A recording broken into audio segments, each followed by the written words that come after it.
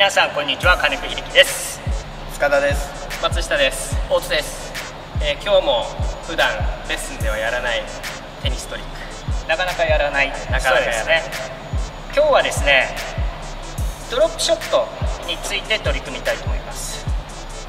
テニストリックですね。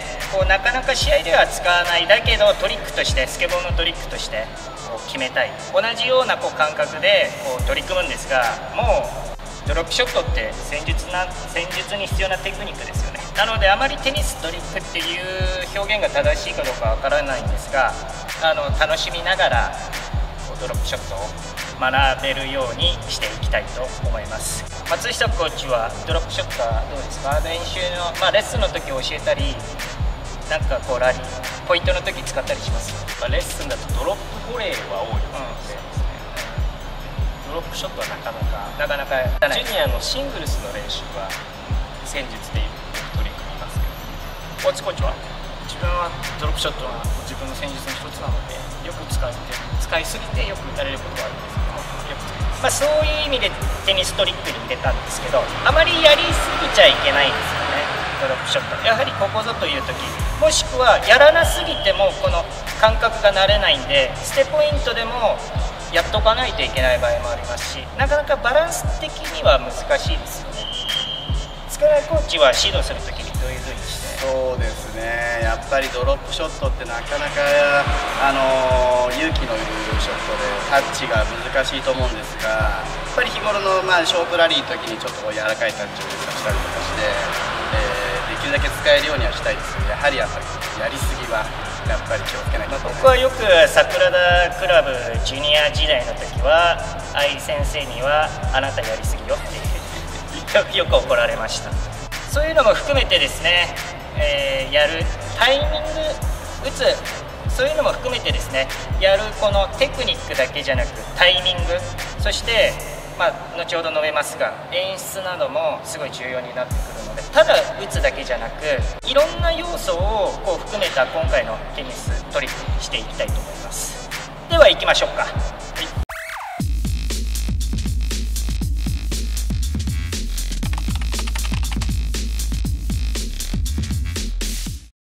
まず早速いきたいと思います。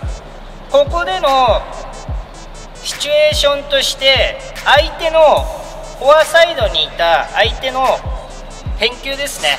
がフォアハンドに来てそれをドロップショット打つ状況です。なのでクロスコートにドロップショットを打ちます。この状況を設定して今からやるのはクロスコートに打つドロップショットの練習になります。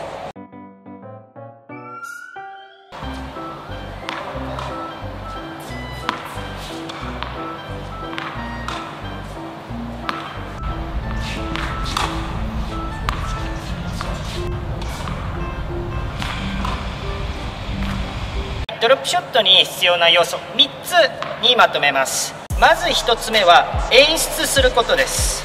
これは本当ふざけてふざけてやるとかそういうわけじゃなく本当にですねこう打つぞと見せかけてドロップショットを打たないと相手のこの重心を変えられないんですよね。でドロップショットって距離があるからエース取れるわけじゃないんですよね。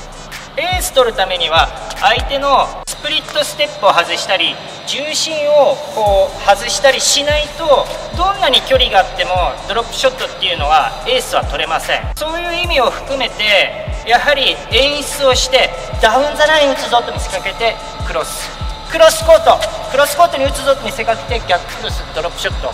こういう演出がとても大切になります。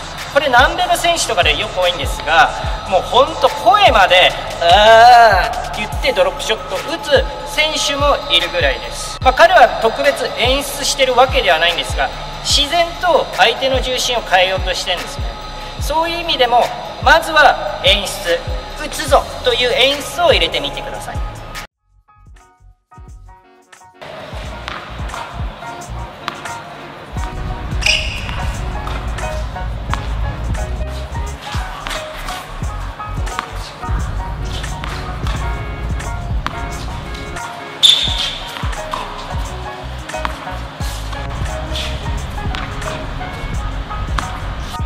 つ目ですね。次はですねグリップラケットの持ち方になります。これは選手プレーヤーのタイプにもよるんですが僕はですねリターンもそうなんですけど状況によってこうグリップを持ち帰ることができないんですね。これは体勢崩した時にスライスで返すそういうそういうことできる選手もいます。僕はできないんですね。なのであらかじめ決めています。これはドロップショットも同じで僕はドロップショットを打つ時はもうドロップショットのグリップを決めちゃいます。あらかじめ決めてそしてスピンを打つぞと見せかけて打ちます。器用な人はもうストロークのこのグリップから打つ時にこう変えるんですが僕はできないタイプなので僕はもう最初からドロップショットのグリップで打っちゃいます。スライスのグリップで打っちゃいます。なのであまりドロップショットしっくりこない人はあらかじめスライスのグリップで握っちゃってください。そして最初からそれを見せてしまうと対戦相手に読まれてしまうのでその前にはグリップを変えなくていいんですがフォアを打つぞと見せかけてスライスを打ってみてください。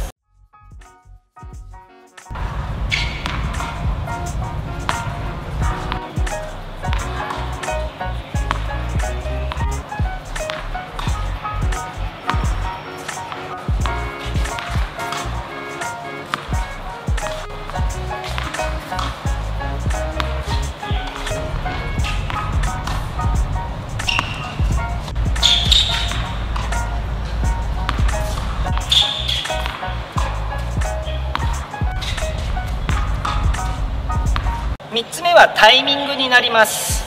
これもドロップショット打つぞというタイミングで打ってもなかなか決まりません。演出と一緒ですね。なので相手のスプリットステップこのタイミングをずらさないといけません。なので少し早く取る。ショートバンドほどではないんですが上がったこの高いところで取るようにしてみてください。